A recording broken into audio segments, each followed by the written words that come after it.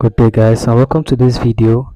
In today's video i'll be showing you how to remove security plugin on android phone. So before we proceed i'm sure if you like this video subscribe to this channel leave a comment in the comment section share this video and also contact us for ads and collaborations via the description of this video. So let's proceed. So now the first step now head over to your settings section then head over to your app section. So tap on see all apps so now just search for the security plugin okay? The app which is actually bringing out the security plugin okay? Let me say for example like it's easy buy. So just install it okay? Install it. But let me say it's another app let me just for example like op okay? Just enter then you install it.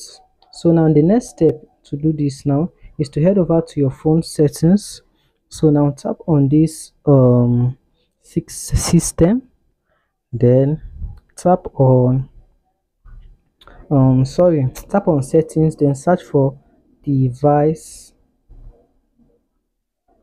admin and it will pop up device admin apps. So if the app is uh, is among this section over here so just uncheck mark this and that's the way. Or you can use this third method. You can just set over okay restart your phone then see how this plays out. So if also and one method i recommend again okay?